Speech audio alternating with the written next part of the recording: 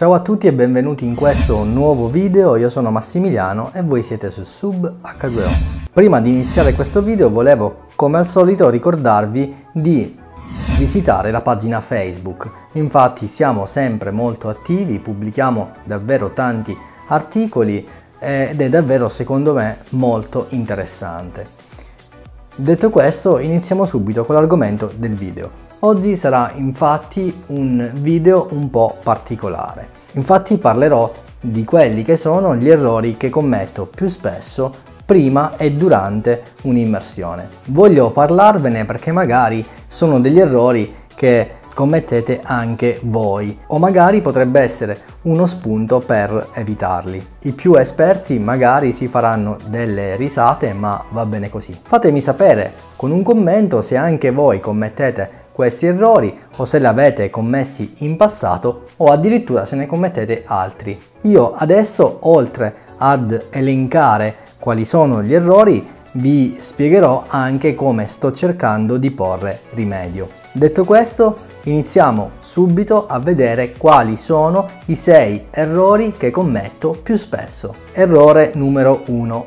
Non fare la lista dell'attrezzatura da portare prima di un'immersione. Questo è un errore forse frequente per chi è alle prime armi. Infatti dobbiamo, ma devo anch'io pensare, che prima di un'immersione ogni componente dell'attrezzatura è praticamente fondamentale. Immaginate ad esempio di dimenticare la pinna, lo snorkel, l'erogatore o anche qualche peso in più. Ecco, questo è lo scenario che si può verificare e personalmente mi è capitato durante un'esercitazione in piscina. Avevo dimenticato nello specifico un calzare e quindi ho dovuto indossare la pinna senza. Fortunatamente in questo caso non ha pregiudicato la mia immersione e ho potuto comunque fare la mia esercitazione in piscina.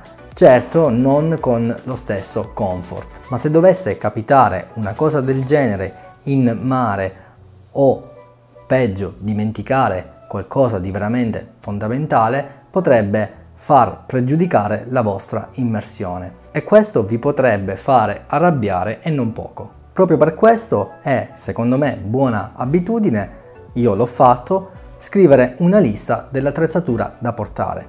Questa servirà anche dopo, quindi successivamente all'immersione, perché vi farà da promemoria sull'attrezzatura che invece dovete ritirare per evitare di dimenticarla lì sul posto. Errore numero 2. Non preparare l'attrezzatura. Si sa, prima di fare un'immersione dobbiamo indossare muta, pinne, snorkel, calzari, computer subacqueo e via dicendo. Ma immaginate che confusione si crea se non prepariamo ogni singolo accessorio? Beh, a me è capitato e non è stato per nulla piacevole. Motivo per cui è buona abitudine, secondo me, cominciare a preparare l'attrezzatura anche da casa. Ad esempio, se abbiamo il GAV, cominciare a smollare gli spallacci, se abbiamo il pedagno, cominciamo ad assicurarlo magari in una tasca del GAV, possiamo anche ad esempio mettere lo snorkel in posizione e ad esempio regolare già la cintura con i pesi che abbiamo utilizzato magari nell'immersione precedente e via dicendo. Solo così non avremo problemi prima dell'immersione e tutta la preparazione sarà più veloce. Errore numero 3.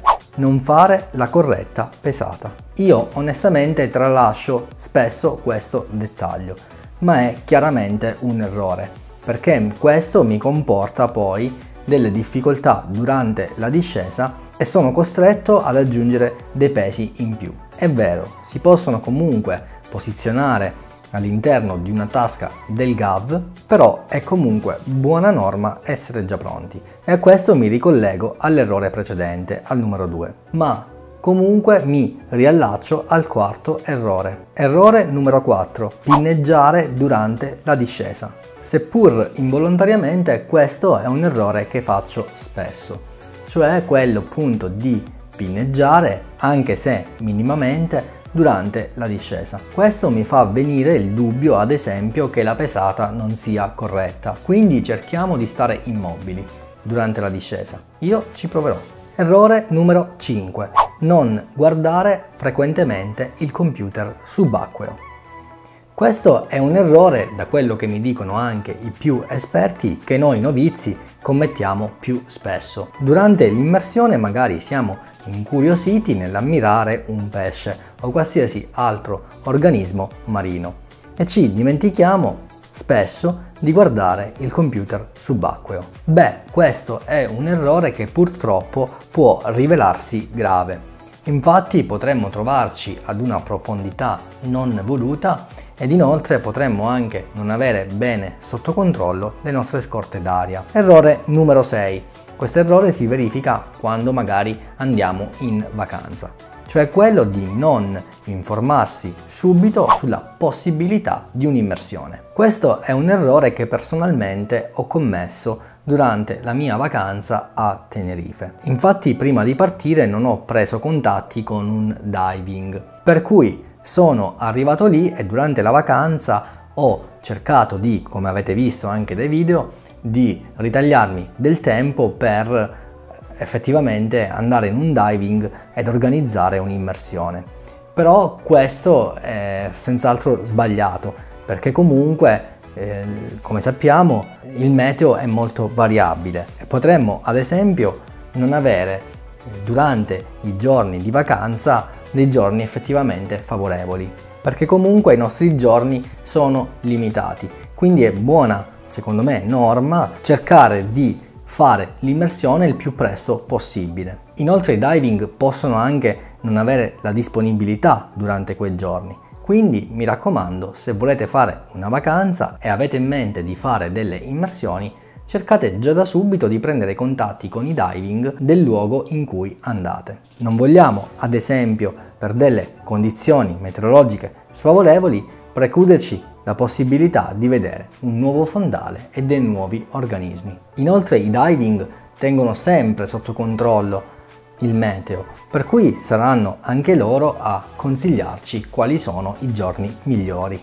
Detto questo, io ho finito qui con questi 6 errori che commetto. Come ho detto all'inizio, fatemi sapere se anche voi commettete questi errori, se ne commettete degli altri, se li avete commessi in passato e come avete rimediato. In più io vi ricordo di iscrivervi al canale se vi piace quello che faccio, mettere un bel mi piace se questo video vi è piaciuto e vi invito a seguirmi sui social, su Facebook ad esempio siamo molto attivi, abbiamo una nostra pagina dove sono presenti tantissimi articoli e se volete potete visitare anche il mio profilo Instagram. Detto questo noi ci vediamo al prossimo video, ciao!